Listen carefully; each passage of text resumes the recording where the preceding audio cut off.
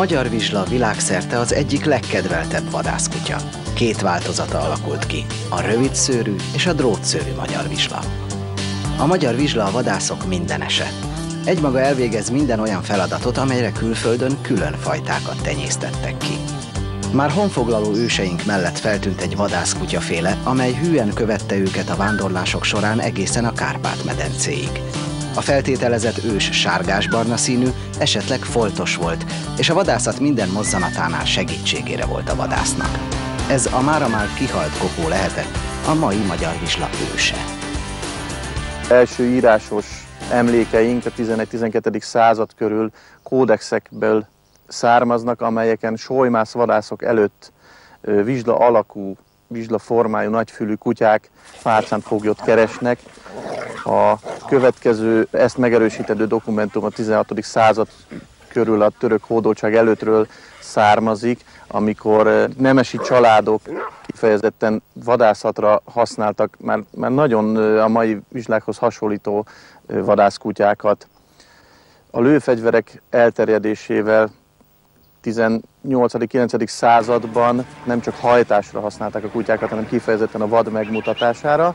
1916-ban merült fel a Nimrod vadászújság hasábján, hogy ez a nagyon sokrétű és nagyon alkalmazkodóképes, jó vadászati tulajdonságokkal rendelkező fajta kihalás szélére került, és ez egy előtte nem látott összefogást eredményezett a magyar vizslatartók tenyésztők körébe. Lajstromba vették a tenyészegyedeket, kifejezetten szakszerű, okszerű tenyésztői munka indult el, ami az első világháború kezdetéig olyan nagyon nemzetközi szinten is magas színvonalú, minőségű állományt eredményezett, ami sajnos a második világháború során szinte teljesen kipusztult, a törzskönyv megsemmisült, 1945-46 körülre teljesen veszélybe került a fajta. 1947-ben állami tenyész telepet létesítettek, és ott kezdték el újra a fajta megmentését, mondhatjuk így nyugodtan, ami azt eredményezte, hogy napjainkra a rövidszörű magyar vizsla ismét rendkívül népszerű, sokoldalúan használt, külföldön is, is nagyon elterjedt vadászkutya fajta.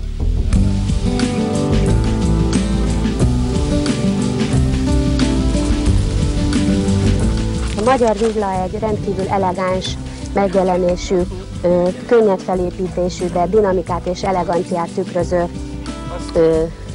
kutyafajta marad. Egy középmérettel rendelkezik, Szőrzetéről annyit elmondanék, hogy rendkívül rövid, testhez simuló térdes tapintatú simítás közben. Karakteréről talán annyit mondanék, hogy egy rendkívül barátságos, emberszerető, jó kontaktus teremtő képességű kutya, semmiképpen sem agresszív és félős, tehát a fej száraz, nemes, arányos, körülbelül az a fejtető és az arcóri rész aránya 50%, az arcóri rész egy picivel ennél rövidebb, a koponya boltozatot egy enyhén ívelt barázda választja ketté, ami nem lehet túl mély, nyakszáraz, lebernyegektől mentes, egyenes, feszes hát és törzs, könnyékig érő melkas, nem túl felhúzott hassal, az első lábvégek párhuzamosak és egyenesek, hátsó szögelések közepesek, csánk egy, egy kicsit alacsonyabban tűzött, faroktűzésről annyit el kell mondani, hogy közepesen tűzött, farokhosszúsága jellemzően, körülbelül a csánkig érő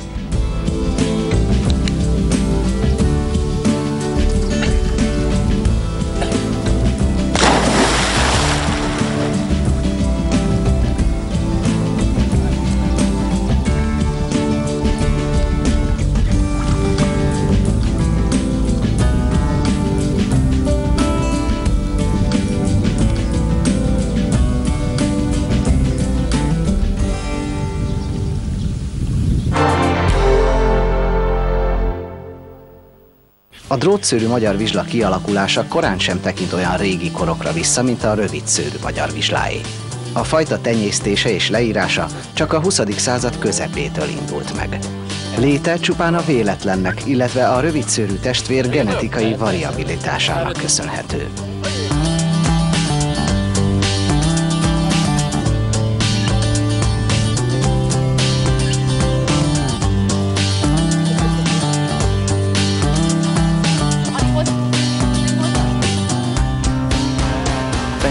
Észrevették, hogy a rövidszőrű almokban jelennek meg hosszabb szőrű egyedek is, és ezeket általában, mivel nem felejtek meg a fajta leírásnak, elpusztították, illetve nem nevelték fel. Gondolkoztak rajta, hogy felnevelik, és téli alkalmazásként jobb szőrzete, tűrőképessége miatt kialakítanák a drótszőrű magyar vizsgát belőle. Gyere! Láma! Mari! 1940 környékén a második világháború elején Vasas József és Gresznáik László helyő csabai tenyésztők elkezdték keresztezni ezeket a hosszabb szőrű egyedeket drótszőrű német vizslával.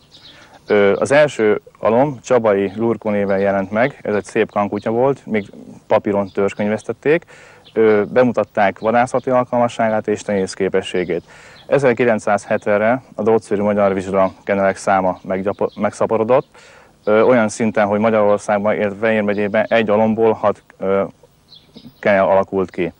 Most napjainkban tudomásom szerint 1500 és 2000 között van a törzskönyvezett állománya a drótszőri magyar vizsgának, és sajnos nagyon sok van még mindig, ami nem ismert szülőktől származik. Ezek többnyire vadászkézen vannak, illetve csak hubbi kutyaként és célállatként használják Nála, őket.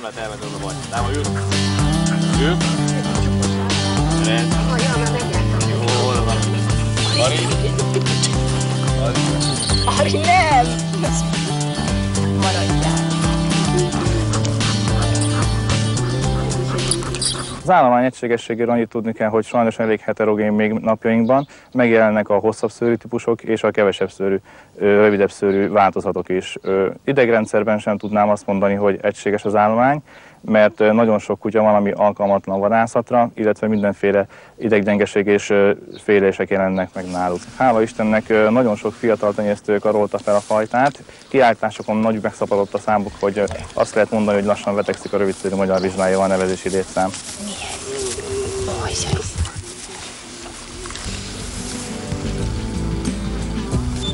Hát a drótszőrű magyar vizsga fajtaírására annyit, hogy testalkatilag mindenben meg kell neki egyezni a rövidszőrű magyar vizsgáival, az arányaiban, a szögelésében és a fejformájában. Az alapvető különbség természetesen a szőrzetben van. Itt elsősorban a kihangsúlyozott drótos jellegének, a testhez simuló 3-4 cm hosszú kemény szőrzetnek, ami mind a hátonon, mind az oldalon jellemeznek el a fajtát. A feje úgy néz ki, egy drótszérű magyar vizsgának, hogy az arcoló részen, ez a fagnak hívják, a pofaszakának kell lennie, ennek hát egy 3-4 centis hosszúság, illetve szemöldök. Ez jellemző mindenképpen a fajtára, viszonylag sima fejtető és sima füleknek kell lennie. Ami még nagyon fontos, és különböző a drótszerű magyar vizsgát, az a lábvéken található zászló. Ezt itt tudnám megmutatni, ezt hívják zászlónak, mind az első és mind a hátsó lábakon meg kell, hogy jelenjen. A többit, mint említettem, a szögerés és az arányok, azok egyeznie kell a rövid szőrű magyar vizsgával, rövid nyak, feszes hát, rövid derék, és jól látható hátsó vég állásszögelések, és jól tűzött faroknak kell lennie.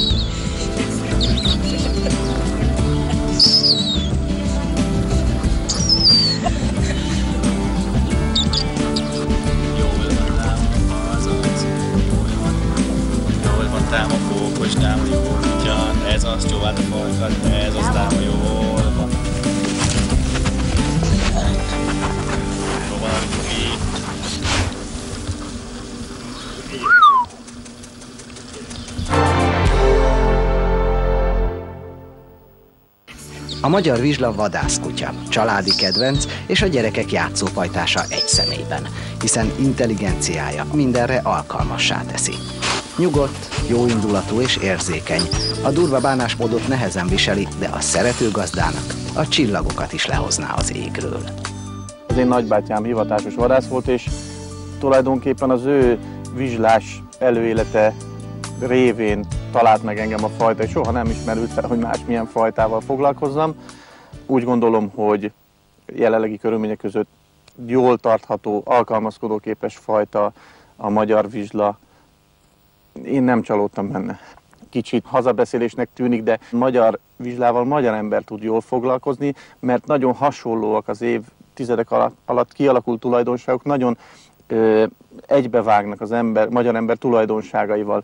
Nem mondhatjuk, hogy egy magyar ember nem olyan precíz, mint egy német. A magyar vizsla is inkább meghálálja a tanítás során a, az ilyen figyelemfelkeltő, az gondolkodásra ható módszereket, mint sem egy, egy szigorúan felépített, mindig ugyanazokat a, lépéseket ismétlő, biflázós-szerű kiképzést. A magyar vizsla gondolkodik, a magyar vizsla figyelemmel kíséri mindig a, a gazdáját, gondolatát próbálja kitalálni, sokszor ez megkönnyíti nem is kiképzését, hanem tanítását, nevelését, sok esetben megnehezíti, mert ő már elképzeli, hogy mi mit fogunk gyakorolni, és azt szerint cselekszik, persze ez nem mindig vág egybe a mi elképzelésünkkel.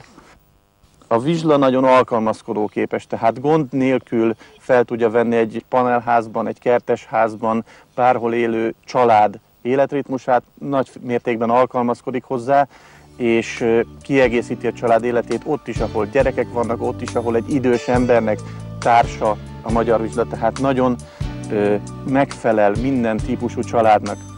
Viszont azt is el kell emelni, mondani, hogy nem ez az ideális, hanem azért tudomásuk kell hogy a magyar vizsla az egy vadászkutya fajta, tehát a tartásánál mindig jobban jár a kutya, hogyha az eredeti funkciójának megfelelő, vagy legalábbis ahhoz hasonlító környezetben él. Ez akkor is kielégítő lehet, hogyha csak egy családi házról beszélünk, ahol megfelelő mozgástere van, de mindenképpen azt lehet mondani, hogy a legfontosabb neki az, hogy minél többet legyen a gazdája közelében.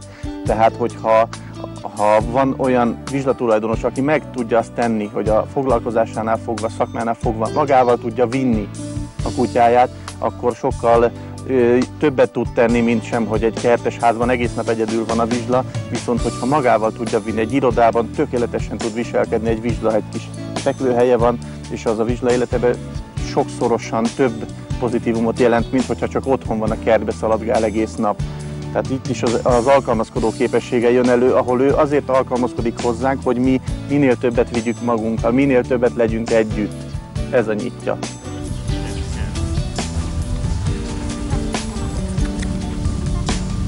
A vizsla, ahogy itt is látszik, rendkívül hizelgő, emberszerető, emberbarát fajta. Ebben benne rejlik az a veszély, hogy ő, ő, leveszi az embert a lábáról, és a következetesség háttérbe szorul mindig az legyen, lebegen a szemünk előtt, ami egy nagyon jó mondás a vizsla tanításához, neveléséhez, hogy amit lehet, azt mindig lehessen, amit tilos, azt pedig sose til- le- engedjük meg neki. Tehát mindig legyen tilos.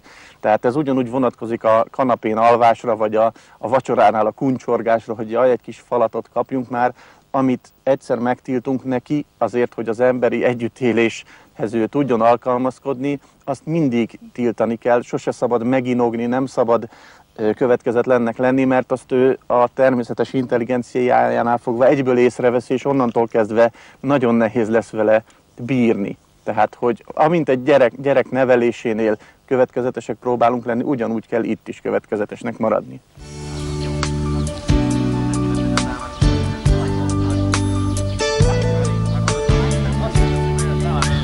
Ne feledjük, a magyar vizsla rendkívül könnyen tanítható, de házőrzőnek nem alkalmas. Jelzi az idegent, de a besúranó tolvajt épp úgy imádja, mint a közeli barátot.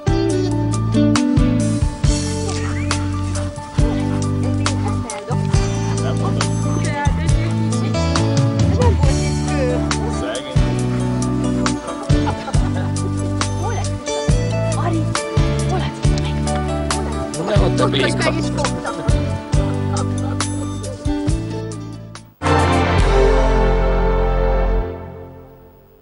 Magyar vizsla valódi élettere nem a kanapé és annak környéke. Igazán elemében a természetben, vadászat közben érzi magát.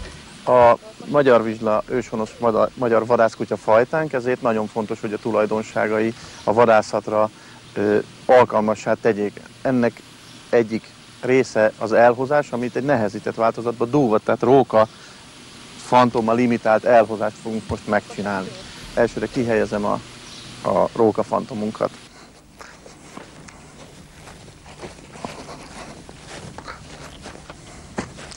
A vezető lefektette a kutyáját, utána elhozásra küldi.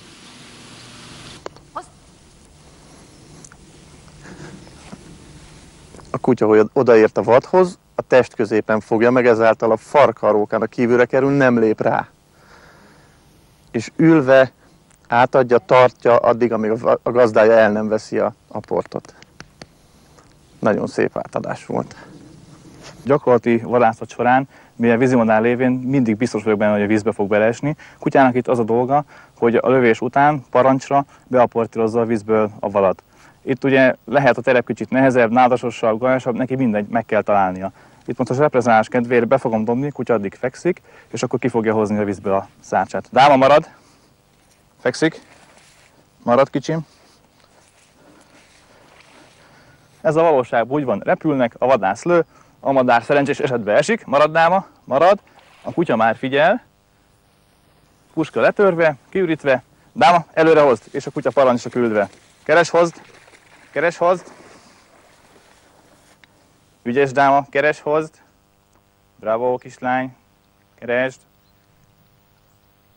keresd, jól van, gyere hozd, gyere hozd, gyere hozd, és akkor egy kis furfangot fog belevinni a dolgba, mert a legrövidebb úton fog vele kijönni. Jól van, dáma, gyere hozd, gyere hozd, hozd a gazdához, gyere hozd, jól van, dáma, gyere hozd, gyere hozd, bravo kicsim, gyere hozd, jó van, fogd, dáma ide hozzám, gyere, ül, gyere hozd, gyere, gyere, ül, okos, jól van, erezd, erezd, bravo kislány, jól van, nagyszerű, jól van. Jól van, dáma. Sebzett nagyvad utánkeresésénél kerülhetünk olyan szituációba, hogy természetes akadály miatt nem tudunk tovább haladni a kutyával a vad vérnyomán, ezért jól képzett vizslával a következő dermet hát vezetéssel tudjuk ezt megoldani. Megjelöljük azt a helyet, ahol utoljára vért találtunk, egy jelző aportot rögzítünk a kutya nyakörvére, és őt a vércsapán keresni küldjük. Piszke. Csapa, keresd, keresd, keresd. Ő a vércsapát követve elmegy a dermet vadig, ott a jelzőaportot a szájába veszi, és visszajön a vezetőjéhez, jelzi ezzel, hogy megtalálta a vadat. Utána a vezetőjét ő minden különösebb parancs nélkül elvezeti a megtalált vadhoz. Hogyha esetleg a vezető eltéved, akkor ő neki vissza kell jönni, és helyes úton elvezetni a vadhoz. Sűrű erdőben előfordul, hogy nem találunk egyből oda, de a kutya mindig visszajön és oda vezet minket a vadhoz. Mutasd, mutasd, mutasd el! Ez az, jól van! Mezei keresést fogjuk reprezentálni. Itt a vizslának az lesz a dolga, hogy ha talál valat, akkor állással kell neki jeleznie. Az állás úgy történik, hogy amikor szakot kap, akkor három rával értve megmerevedik, és az órával jelzi a vadat. A vezető most kiküldi a kutyáját keresni. Értek?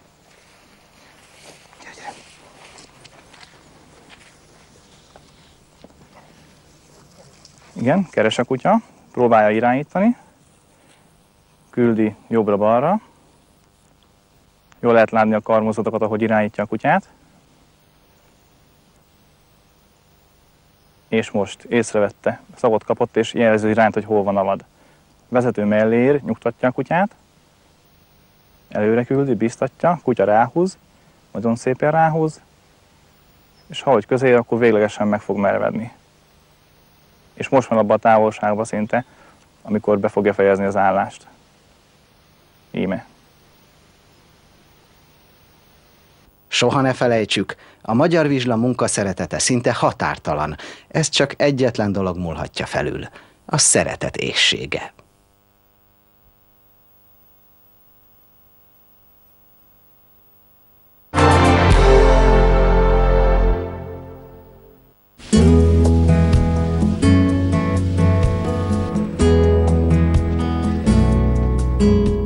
Sopronba jártam erdészeti iskolába, és ott mondták, hogy magyar ember magyar kutyával vadászik, és elhatároztam, hogy veszek egy rövidszőrű magyar vizslát.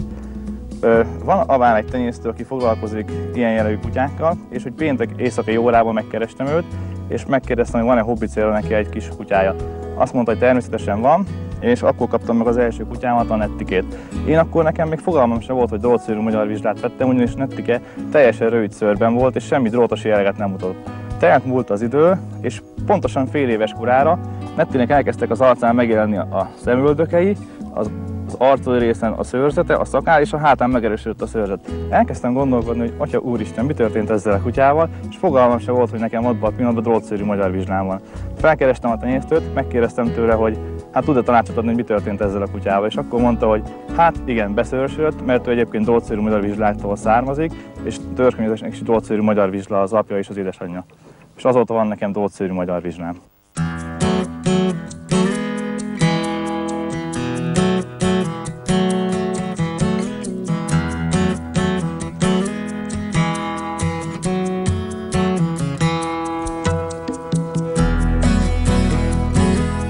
világéletemben szerettem volna kutyát, és csak évekkel később találtam meg egy általános iskolai tankönyvemet, amiben már akkor egy magyar vizslás képeslap volt a könyvjelző.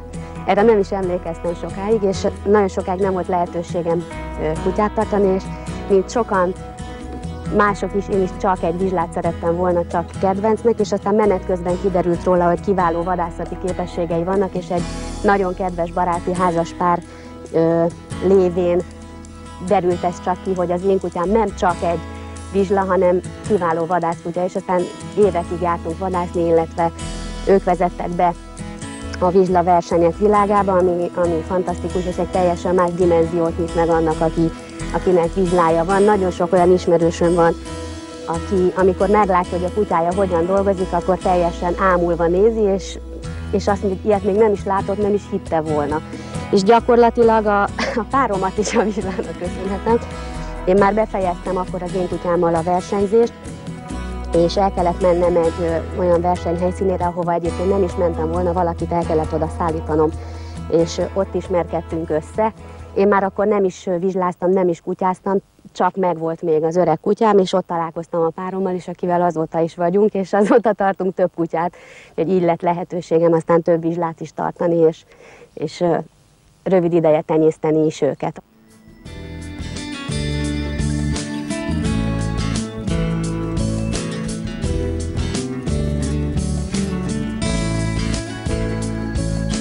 Életem nagy vizslás.